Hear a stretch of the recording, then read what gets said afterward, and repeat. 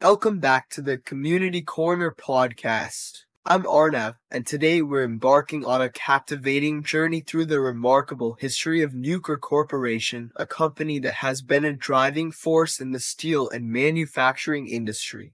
And I'm Nikhil. In this episode, we'll explore Nucor's evolution from its early beginnings to its current status as a global leader in steel production, innovation, and community engagement. Indeed, Nikhil, Nucor Corporation's story is a testament to innovation, sustainability, and its commitment to supporting local communities. So, let's dive into how Nucor became an integral name in the world of steel and manufacturing. Arnav, could you tell us about the origins of Nucor Corporation?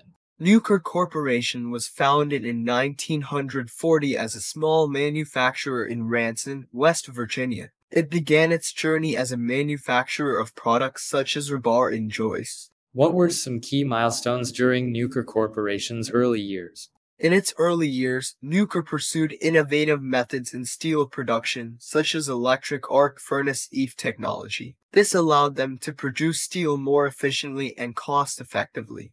How did Nucor Corporation's early commitment to innovation set the stage for its growth? Nucor's dedication to innovative steelmaking techniques and a decentralized management approach became central to its mission, shaping its growth as a leader in the steel industry.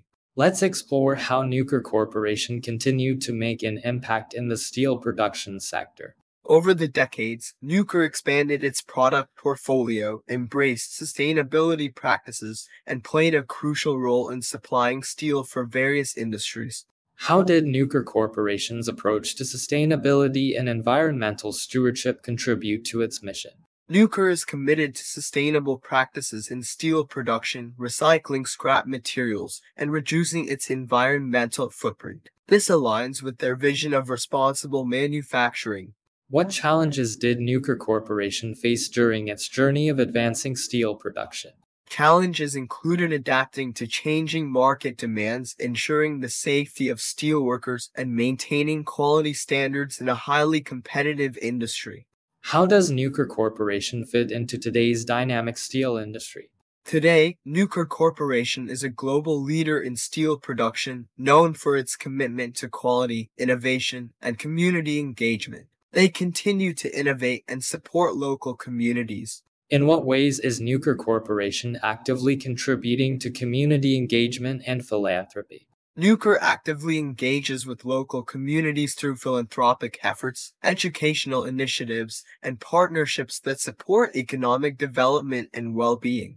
Nucor Corporation's journey underscores the importance of innovation, sustainability, and community engagement in an ever-evolving steel industry. Any final thoughts, Arnav?